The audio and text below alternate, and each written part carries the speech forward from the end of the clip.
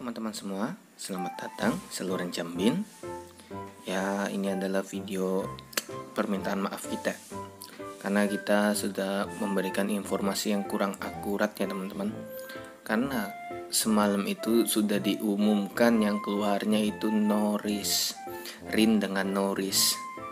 Ya, jadi saya mohon maaf yang sebesar-besarnya karena memberikan informasi yang kurang akurat gitu ya tapi sini apa ya ada yang janggal gitu. Kalau kita mengikuti storyline-nya ya. Karena kan kalian ingat nggak pas lagi storyline yang pertama itu si Ember sama si siapa tuh? Sani ya kalau nggak salah. Nah habis itu kan ada si Santa sama Zugeliang nah itu tuh keluar si Norris tuh. Kalau kalian perhatiin ya nih ada kumpulan eventnya apa kumpulan story maaf? Ini sekarang kan udah mulai banyak nih. Karena kita main udah lumayan lama ya. Nih di sini nih. Kalau nggak salah yang terakhir nah. Ini sayangnya kan bahasanya ya teman-teman. Kita tuh dari pas pertama main tuh pengen banget kan lihat storynya tuh. Pas kita lihat kan wah bahasanya. Nggak kita ngerti kan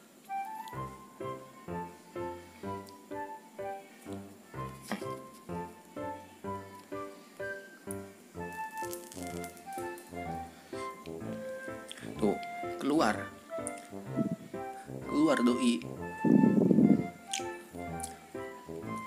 Ya keluar ya ini ya.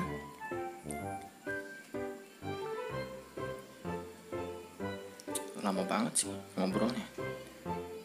Nah dan selanjutnya itu ini si siapa? Ayane Okada harusnya yang keluar tuh.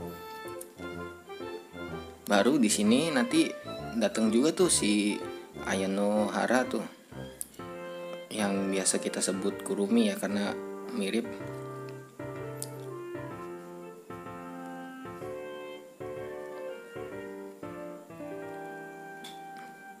Oh keluar dari kotak nih dia nih.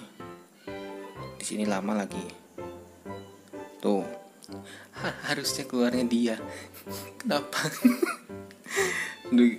mungkin kita yang salah kali ya sudah ngikutin story ini ya.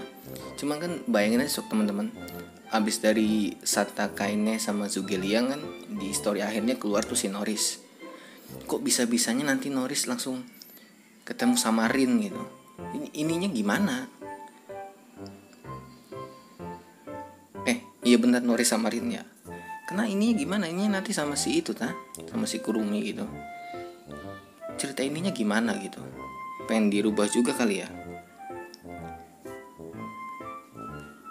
Nah terus baru deh nih si Rin nih. Nah di sini Rin. Rin itu kan kayaknya pahlawan keadilan gitu ya. Keluar sama si Ayanohara harusnya kalau yang di TW cuma kan kalau yang di global kayaknya udah direvisi ulang ya ceritanya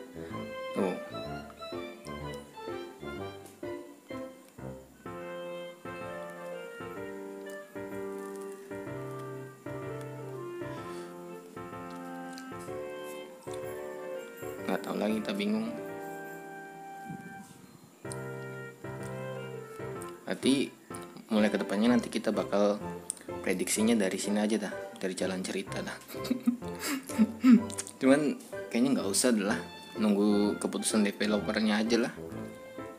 Nanti takutnya salah lagi malah apa nyebarin informasi yang tidak akurat hoax itu.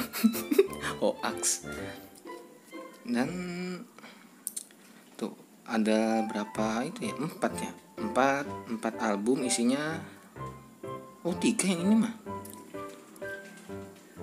Oh harusnya seperti itu. Dan nanti masuk ke sini apa nih?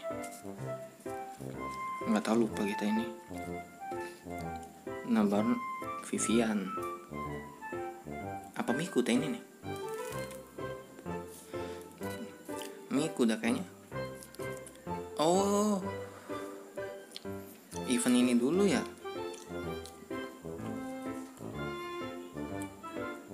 Mikunya mana ya?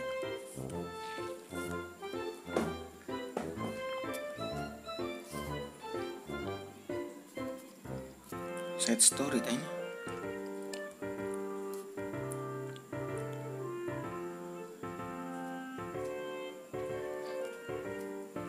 padahal kita penasaran banget sama isi ceritanya tuh ya karena bahasanya kan nggak bisa kita mengerti gitu. Jadi ya udahlah.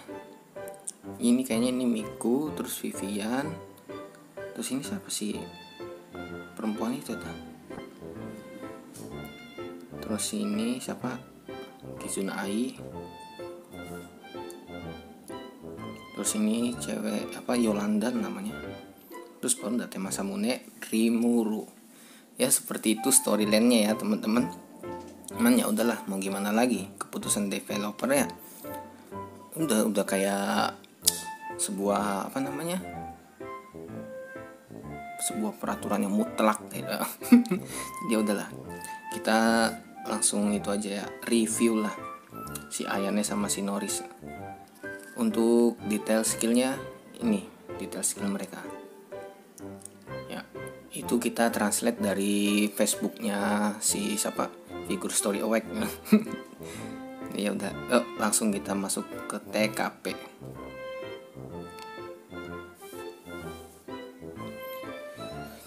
ya kita udah nyampe di TKP tadi juga kita sempat nge build itunya dulu ya si siapa namanya Norrisnya. Masih letter 8 tadi kampret. Sudah kita jadi letter 10 mana ini bingung. Bingung kenapa? Masih bintang satu. Ini gantinya siapa?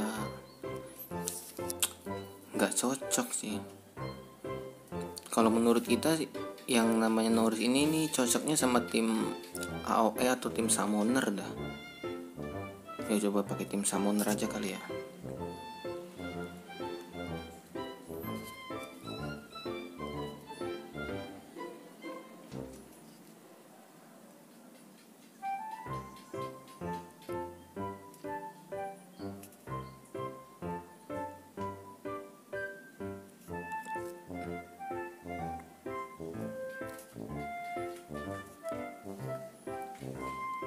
bentar kita uh, ganti item dulu.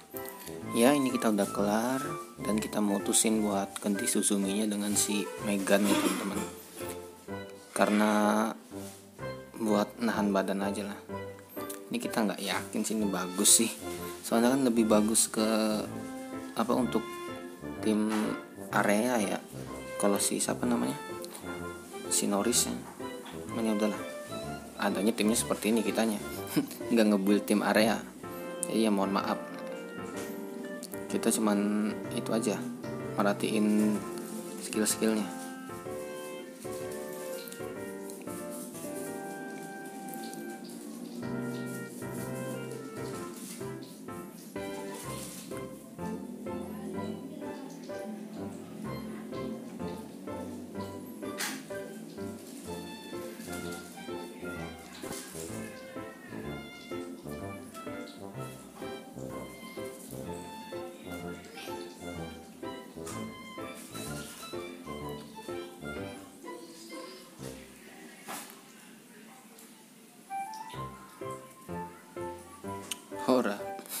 kan? Ketai kan? Tetep loh cuman ya kitanya juga bintangnya kecil sih ya teman-teman. Jadi ya ya seperti inilah. Kita kurang merekomendasikan sih untuk Norris. Kalau buat free player ya kalau buat Sultan ya bebas. Kalian boleh gacha atau tidak. Cuman kalau kita enggak lah. Masih mending si Opelia nya lah gedein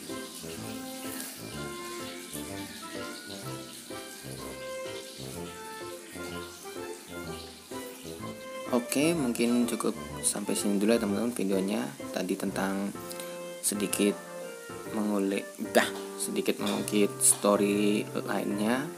Terus juga review figur yang udahlah udah, udah, udah terlanjur itu ya. Jadi kita review aja semuanya dah. si siapa ayahnya sama si Norrisnya atau kalian pengen itu juga nanti kita bikin konten itu tuh storyline yang udah kita lewatin nanti kita translatein kan bahasanya tuh. Gimana? Seru kayaknya ya. Kita juga penasaran sih sama jalan ceritanya kan.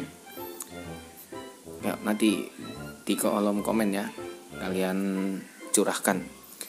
Terus juga kita pengen minta maaf sebesar besarnya karena informasi yang sempat kita berikan itu tidak akurat. Jadi kita mohon maaf kita mohon maaf banget yang sebesar besarnya Oke, okay? terima kasih buat teman-teman yang sudah mampir, yang sudah menyempatkan diri kalian untuk menonton saluran jamin. Terima kasih banyak. Jangan lupa like, share, komen, subrek, karena dukungan dari kalian sangat berarti buat kita. Sungguh, terima kasih. Oke, sampai jumpa di next video. Bye bye.